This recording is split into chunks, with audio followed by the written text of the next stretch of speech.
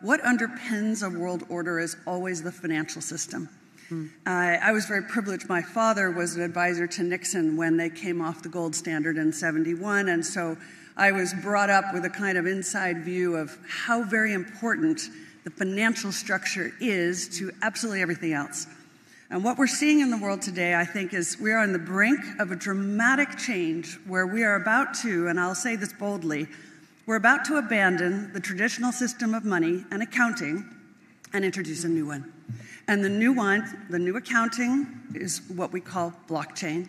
It means digital.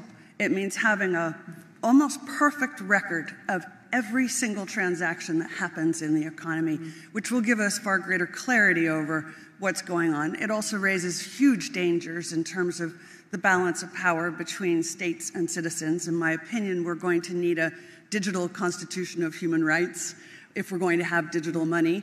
Uh, but also, this new money will be sovereign in nature. Most people think that digital money is crypto and private, but uh, what I see are superpowers introducing digital currency. The Chinese were the first. The US is on the brink, I think, of moving in the same direction. The Europeans have committed to that as well. And the question is will that new system of digital money and digital accounting accommodate the competing needs of the citizens of all these locations so that every human being has a chance to have a better life. Because that's the only measure of whether a world order really serves.